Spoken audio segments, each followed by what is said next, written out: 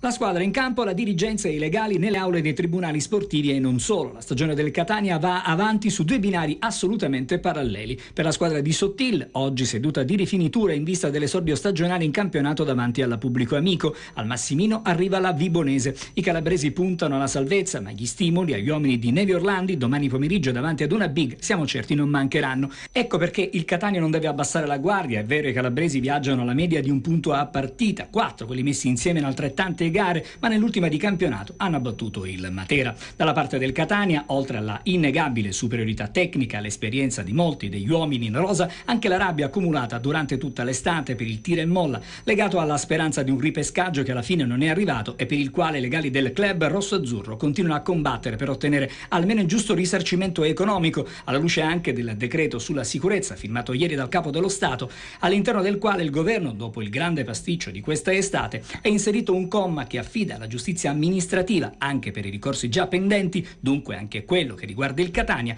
la competenza esclusiva sulle esclusioni e sui ripescaggi nei vari campionati. E già martedì prossimo, il 9 ottobre, il TAR del Lazio si pronuncerà nel merito sui ricorsi del Catania contro le deliberazioni del commissario Fabricini del 13 agosto scorso. La battaglia legale per ottenere giustizia, come detto, andrà avanti anche se necessario davanti al Consiglio di Stato. Ricordiamo che al Tribunale di Roma è pendente anche una denuncia penale nei confronti del commissario straordinario della Federcalcio per abuso d'ufficio. Fare calcio fra tanta carta bollata risulta difficile, ma il Catania deve non solo giocare, ma anche vincere sul campo. Contro la Vibonese Marotta tornerà al centro dell'attacco rosso-azzurro. Per le altre scelte sottila solo problemi di abbondanza. Ieri intanto la D rosso-azzurro Pietro Lo Monaco è stato nominato consigliere della Federcalcio in quota Lega Pro, riconoscimento alla serietà e alla professionalità dimostrata nei tanti anni di carriera nel mondo del calcio.